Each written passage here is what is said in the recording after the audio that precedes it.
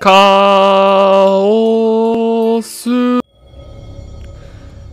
い。ということで、不穏な BGM と一緒に、皆さん、こんにちは、こんばんは、おはようございます。ルサオでございます。えー、っとですね、カオスパステルオレンジ実況プレイパート23やっていこう。うん、結構来たね。なんか、パート23なのか？ちょっと引いた。ちょっと引いたっす。はい。ということでですね、あのー前回のあらすじを軽く話したいんですけど、なんかまあ、二つ前にですね、私はあのー鬼ごっこじゃねえ。違 う違う。鬼ごっこじゃないよ。鬼ごっこじゃなくて、肝試しをしに来たんですよ。で、肝試しをしに来たら、なんか赤坂さんがナイフ刺されて死んでて、で、なんかアキラッチが窓から飛び降りて死んでて、で、今野くんが首をつって死んでて、まあ、りんちゃんが弓を構えてたっていうわけなの。で、なんか、しばらくしたら、なんか矢が飛んできて、りんちゃんも死んじゃったっていう話なんだよね。で、なんか矢を射ったやつがアキラで、アキラがなんか全てを知ってたんだっていう話。なんかすごいね、カオスパステルオレンジ実況プレイの1から22までのネタバレを全部したね。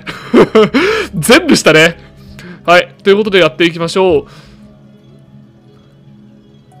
う。絶対内緒ね。お母さんのせいで、とても辛い思いをした子なの。幼稚園にね、和樹の弟がいるの。え、まさかのアキラッチが弟？仲良くしてあげてね。そうなんです。あの、前回発覚したことで、アキラッチってのが実は俺の兄弟だったんですよね。兄弟だったんですよね。あ、あ、あ、あ、うわお母さん。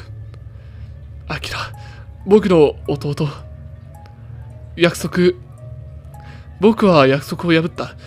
僕が殺した。うわ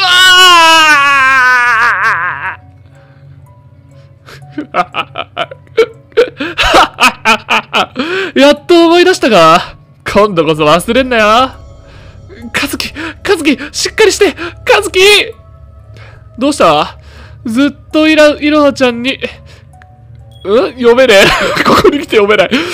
うん、暴れまれて、暴れまれてか。暴れまれて悔しかったんだろ記憶さえ取り戻せたらって思ってたんだろ喜べよひでえな。ひでえな。傷つくぞ。感動の再会シーンだぜ、兄弟。なんとか言えよ。11年間親友として、うん？影ひなたなく支えた片割れに。ぐっ俺にはすぐに分かったぜ。お前は俺のことし、俺のしたことを忘れたかったんじゃない。お前のしたことを忘れたかったんだ。お前が耐えられなかったんだろう。自分がきっかけになった。それだけのことで。どうして間接的に関わった程度のお前が忘れる。直接お前の母親を殺した俺さえ覚えているのに。最初は不思議だったさ。けど、お前はガキの頃そういうやつだったよ。な。お前の母親が、お前にそう教えたんだよ。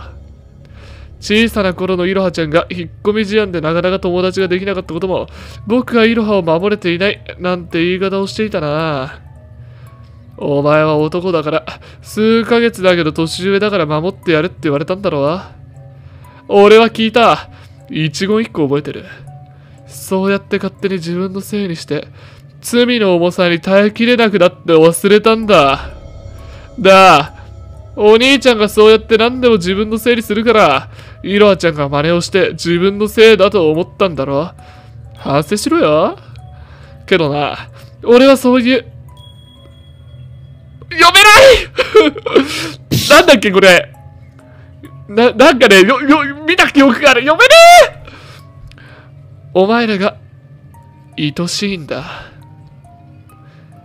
身勝手に死んだ母親も、イロハちゃんに甘えるお前も、打ち明けられないイロハちゃんも、あのくらいで事件を起こすヘルの卵たちも、腐ってる。俺はそんな腐った肉の塊が大好きだ。こいつやべえよ、マジで こいつやばいよ。ちょっとマウス邪魔だね。でさ、俺、あと前回さ、ちょっと訂正させて。俺さ、前回さ、なんか、俺とアキラのお母ちゃんがもともと同じ人で、なんかお互い別々の人に引き取られたって言ったけど違うね。あの、俺のお母さんが捨てたんだね。ごめんなさいね。天国にも地獄にも行けなかったボーレータは、地獄生きる肉の塊に憧れるのさ。かっこいい。憧れたのさだったね。お前らがどれだけ俺をいなかったことにしようとしても、俺はお前らのことを愛してるぜかっけだからな、和樹。俺はお前の望む限り、お前のせいにした。お前がもういいって言いたくなるまで、お前が俺のせいだと思えるようになるまで、いろはちゃんが俺を疑えとお前に言うまで、無視はさせない。あの女が死んだことも、俺が殺したことも、勝手に俺を消すな。俺を裁けよ。猫がネズミを貪るような致命傷にならない力に振り回された。首が支えられて逃げられない。違う。首が支えられてじゃないのよ。捕まえられてたね、あれ。やめて、お願いやめてガーッガーあの女は最後に、俺を見て微笑んだ。俺が自殺を止めなかったあの日だけ。なんでかわかるか？うわ、もう、あきらくん、もうやめてやめてよ俺はやめないってやり方で、あの女を殺したんだ。だからあの女は笑った。ガッ違う。違う。アキラのお母さんを殺したのはアキラじゃない。僕がいたから。僕だ。僕が殺した。僕がいたから、アキラのお母さんが死んで、僕がお母さんとの約束を破ったから、僕のお母さんが死んだ。あー、じゃあ、アキラはやっぱり別の人に引き取られたってこと？これ複雑なんですけど。そうだよね。でもやっぱりそういうことだよね。アキラのお母さんと俺のお母さんは一緒なんだけど、元祖のお母さんは俺のお母さんだったってことだよね。ごめんね、そうだ。いつも一人でいたアキラの弟のことが気になって仲良くなりたくて。虫の死骸、動物の死骸、墓がたくさん、イロハが作った。僕から隠すみたいに。僕は、イロハにずっと甘えて、イロハの涙を閉じ込めて。あ、そういうことか。じゃあ、なんか、その、アキラの存在を隠すために、イロハはそのわざわざ虫の死骸とか、そういうのを埋めてたんだ。じゃあ、あの、パート11、1ぐらいの伏線がここで回収されたんだね。殴られた衝撃に閉じかけていた目を開く。似顔絵の隙間から覗くアキラの瞳は、光合と輝いている。楽しくて仕方ないような目だ。いや、こんな、これ、こんな穏やかな声で読むところじゃないね、多分。俺はお前を殺して、あいつをお前とクソじじいに返す。ぐっ放り投げるように手を離されて、どさりと地面に這いつくばる。俺はお前みたいに忘れない。目の前が暗くなる。顔。僕は見たくなかった。静止できなかったんだ。壊してしまった。母の顔、屋上で驚いて顔をしていたアキラの顔、僕の弱さを押し付けてしまったイロハの顔。殺せるあの女を、お前をやっと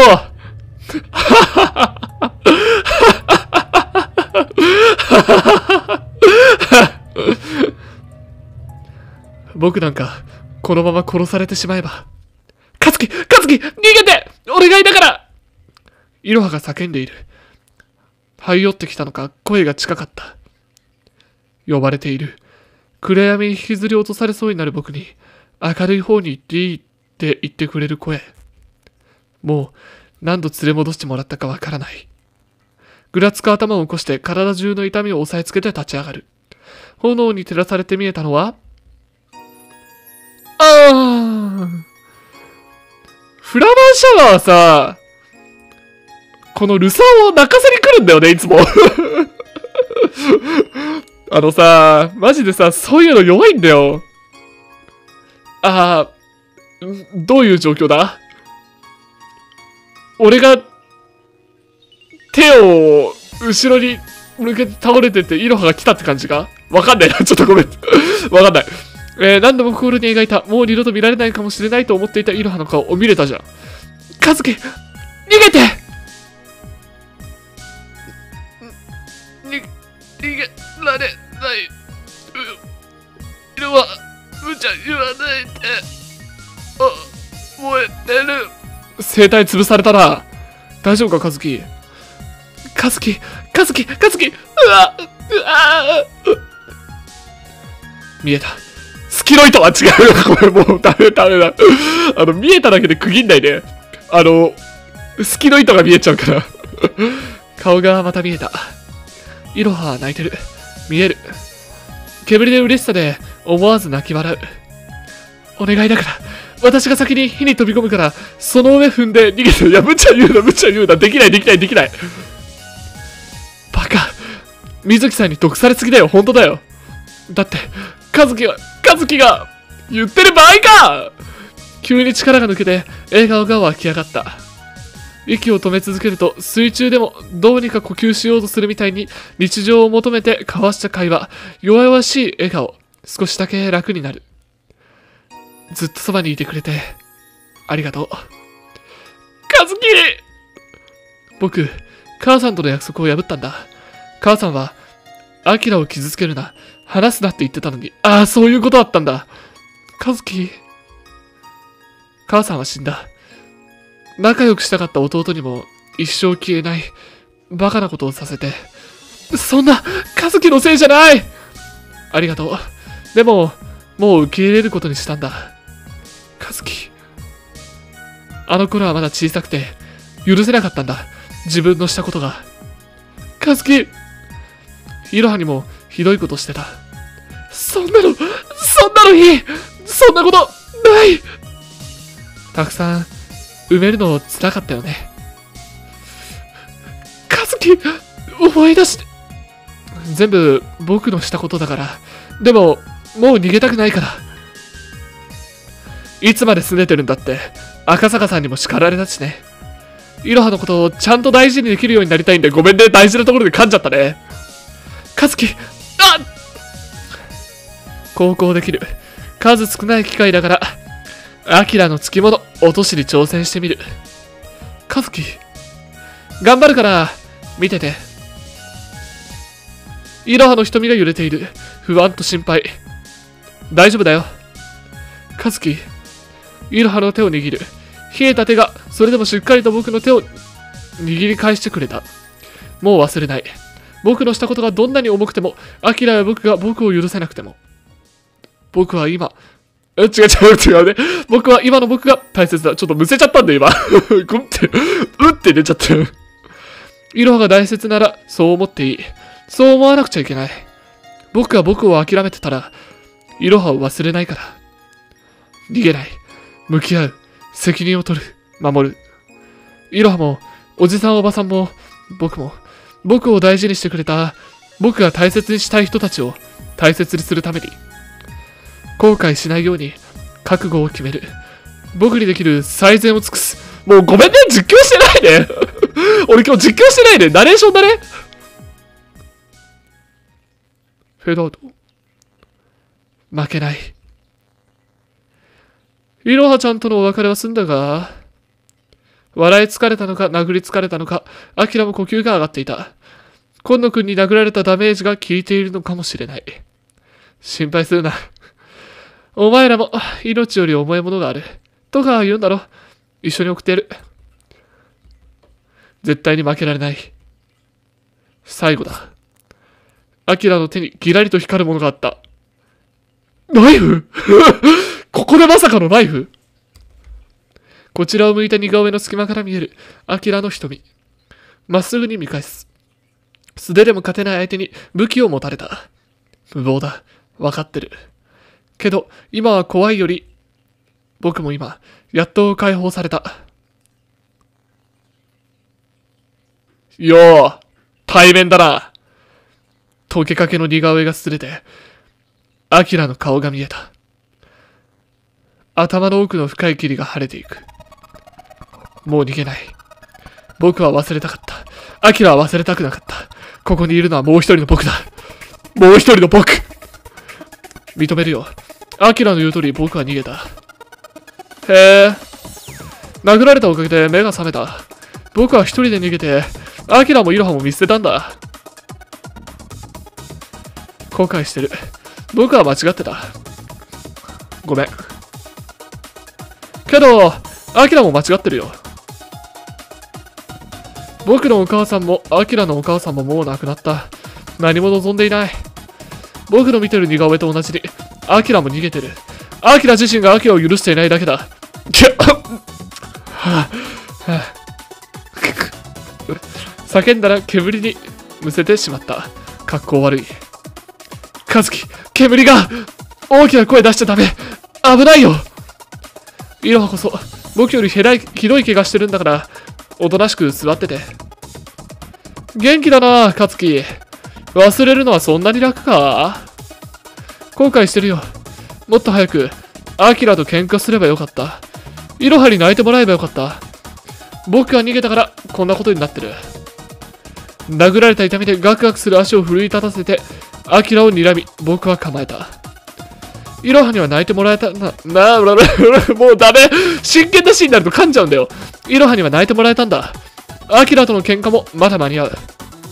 間に合う悪い思い出、思い出させてくれたお礼に目を覚まし返してやるよ。僕の見ている似顔絵と同じ、アキラを見ているゾンビを、きっとアキラがアキラ自身に見せている幻覚。長かった僕らの悪夢に今、終止符を。やるってのか？柔道の授業じゃ俺から一本も取れなかったのに。記憶を失っていた数年間、一度も湧いたことがないくらい強い気力が僕の体に充実している。来いよ、アキラ。兄弟喧嘩は二人きりでするもんだろう。てめえ。張り詰めた息を抜いて、煙にむせないようゆっくりと深く呼吸を入れる。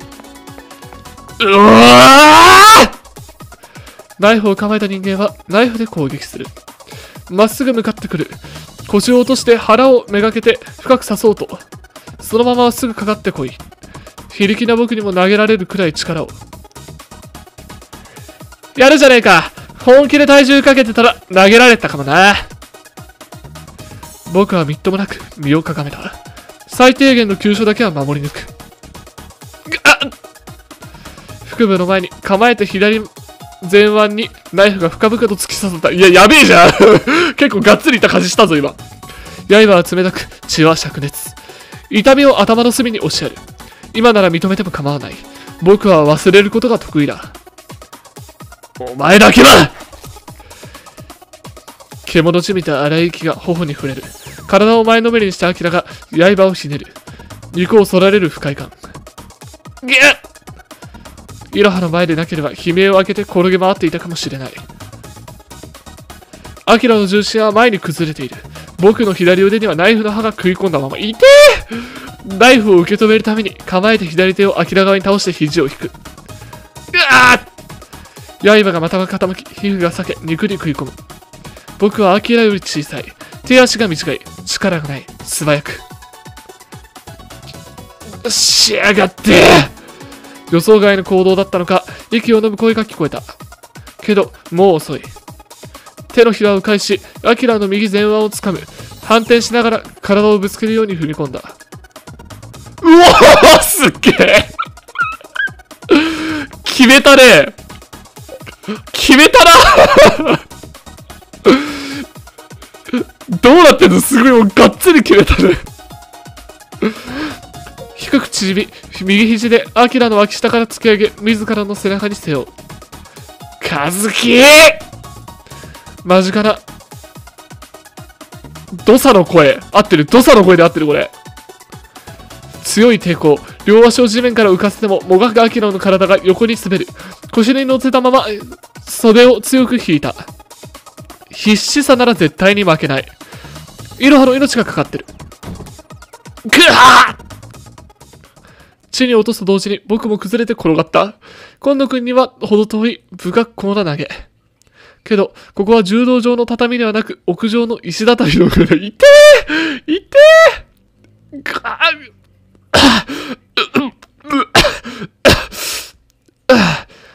屋上のコンクリートに叩き叩きつけられて伸びているアキラを見る。すぐには起き上がれなさそうだ。い、やった。嘘。カズキが、アキラくんを投げた。嘘って僕も嘘みたいだけど。め、めいてめいて大丈夫か今度今度くん。おおいけないちょっとごめん。ちょっとごめん。お前ハンサムすぎんだろかっこいいな今野くん。顔が、今野くん。あ、あ、く、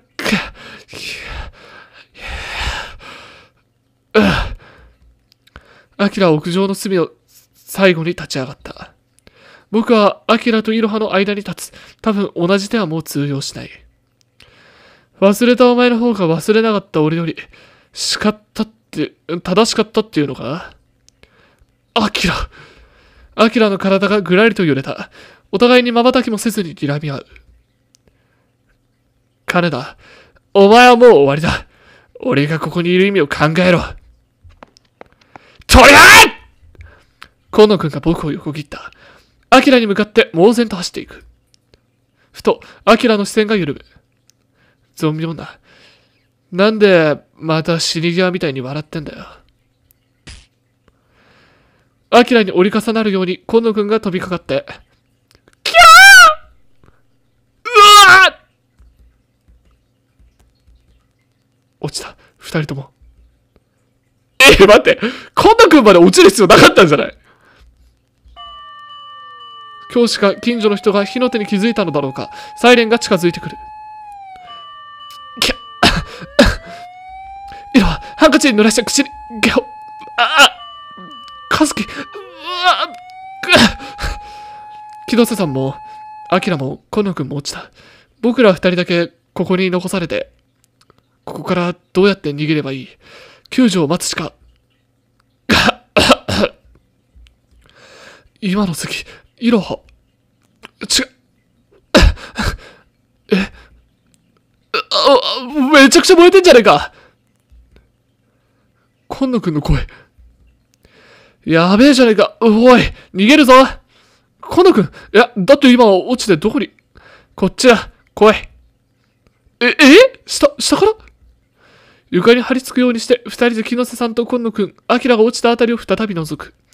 さっきは暗闇だった。そこを炎が照らして、緑色の何かが視界に入った。どういうこと？丸い光が揺れている。光を振っている？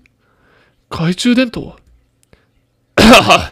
早く来い煙が回る学園祭のゴミが燃え草になってんだあ、じゃ、じゃあ一回した程度の距離に。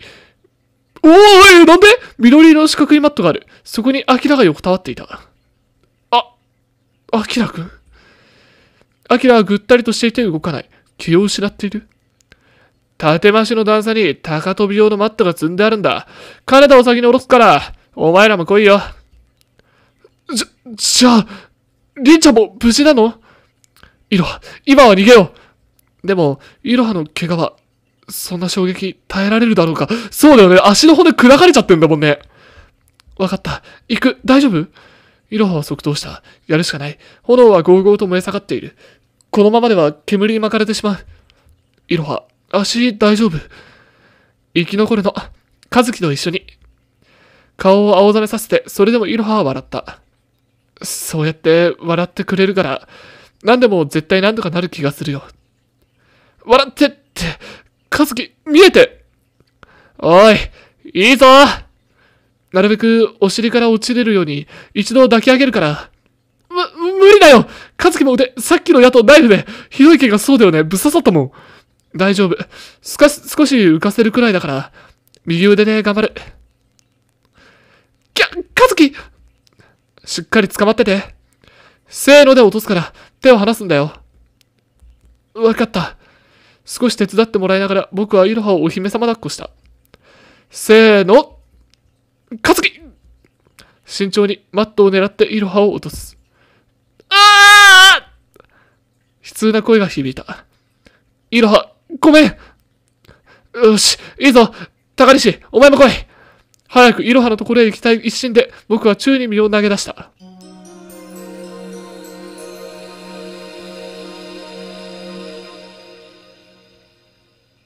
チャプター4新しい日常。うわ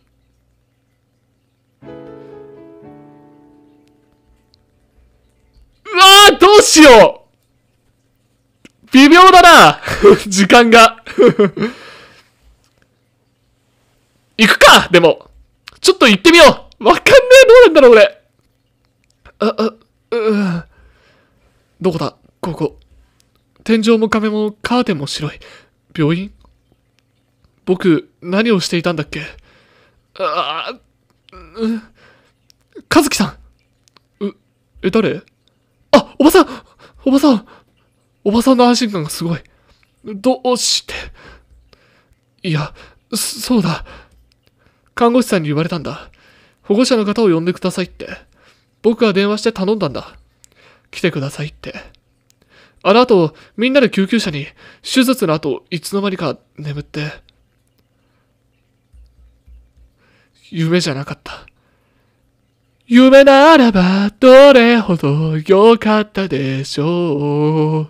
本当だよね。本当だよね。本当に夢だったらどれほど良かったでしょうだよね。でも、みな、そう。みな無事だったんだ。よく無事だったね、あれで。携帯を持っていなかったから時間がわからなかったけど、窓の外が暗い。まだ夜中なのかもしれない。腕の怪我はどう？まだ痛む？かすれた声で尋ねられて、思わず肘を浮かせる。いやい、いえ、大丈夫です。痺れるような痛みが伝わる。見ると分厚く包帯が巻いてあった。そうだ、腕の手術が終わったんだ。ベッドで点滴を受けている間にうとうとしていたのか。動かさないでおばは僕の肩を押さえて腕を動かすのを止めた。あ、す、すみません。しがみつくみたいに僕の肩を押さえている。手が震えていた。おばさん。いきなり夜中に呼び出して、怪我をして病院にいるから来て、なんて言った？もう、警察から聞いたのかな？放火とか殺人とか、僕が花火をするなんて嘘を吐いて、救急車に忍び込んでいたこととかも、保護者が来てくれなかったら、手術もしてもらえないだろうから、手術前からずっと、眠った僕を待っててくれたんだろうか。顔向けできない。ナイフが深く刺さっていたって。でも運が良くて、大事な神経や腱は傷ついていなかったって。ああ、そうなんだ。それはよかった。は、はい。火曜日には退院して2週間で治るって。不幸中の幸い。だって。そうですか。命さえ危なかったのに、よっぽど悪運が強かったんだな、僕。おばさんの似顔絵を見ていると、やっと日常に帰ってこられた気がして、力が抜けていく。うっ左頬に熱が走った。勢いで右を向いた僕の左肩に雨粒のような何かが降っている。え？何？おばの腕が僕を叩くように回されている。白い布団カバーが強く握りしめられていた。看護師さんから聞かされて心配したのよ、カズキあ、激しい感情がこもった声。こんなおばさんを見るのは初めてだ。初めて？いや、初めてじゃない。この声、聞いたことがある。え姉さん、どうしてあ、死んだ時か。葬儀。母さんの。僕はあの時、初めておばと会ったんだろうか。違う気がする。え？違うのかよ。もっと前から。おカズキ、またこんなにマシュマロ出して、食べ物で遊んじゃダメって言ってるでしょ？だって、これ、面白いこれは玩具じゃないの。ほら、貸して。やったーダメ。おばさん、和樹を甘甘やかしたら、ね、あ、うん。お母さんに怒られちゃうでしょ？お母さんだよ。何がよ？僕はお母さんが二人いるの。和樹、いや、いやね、もう、焼きマシュマロにして、ココアに入れる？うん母さん。お母さん？呼んでいたんだ？お母さんって。え？お母さん、おばさん。僕、小さい頃、そう呼んで。かずき、記憶があの時の嬉しそうな笑顔と、今もほとんど変わりない、おばの顔が見えた。やっと来たね。いろは、いろは、いる？大丈夫？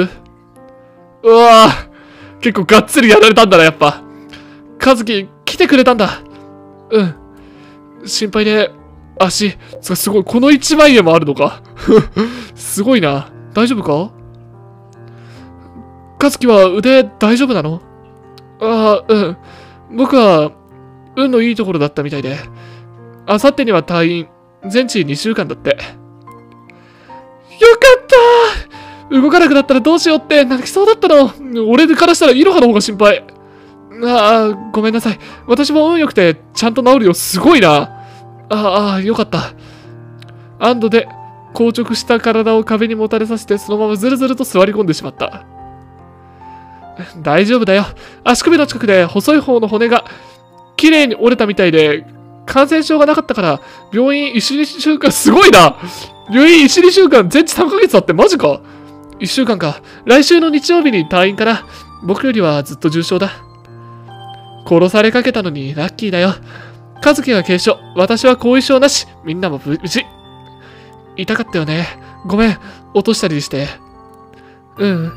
和樹が支えてくれたおかげで、怪我まし、うん、怪我増やさないで落ちれたし。うん。あのね、あの、イロハが僕の目を見たり、そらしたり、遠慮がちに確かめている。見えてる。顔。ああ、うん。また見えるようになったんだ。今度こそ見逃さない。治ると思う。和樹。おじさんとおばさんにはまだ話せていないんだ。もう少し落ち着いてからにしたくて。うん。ごめんね。私、つい嬉しくなっちゃって。いいんだよ。いや一緒に喜んでくれる人がいて嬉しいよ。へへ。本当は早く話したいんだけど、もう少し落ち着きたくて。きっとすごく喜んでくれるよね。うん。焦らなくていいと思う。さっき、おば、あ、お母さんが来てさ、見えたんだ、顔。いろはのおかげだよ、全部。そんな、良くなかったら、嬉しいけど、焦らないでね。ああ、わかってる。けど、けど、僕は多分、このまま、治るような気がする。和樹、気のせいかもしれないけど、どっちにしろ、イロハの顔は後悔しないようにできるだけ見ておこうと思う。うん。ありがとう。でも、怪我が治るまではちゃんと休んでね。うん。もう少しだけ。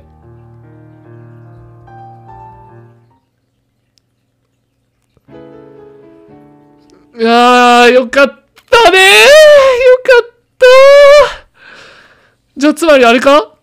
え、ちょっと待って。今度くんと、広瀬さんは落ちたけど、マットがあったから、無事だったんでしょ？で、アキラッチも、俺もイロハスも、無事なんだよね。あれ？赤坂さんって、あれ？ちょっと待って考えたくない考えたくないよし。ということで皆さん、ご視聴ありがとうございました。カオスパステルオレンジ実況プレイ、パート23。これでおしまいにしたいと思います。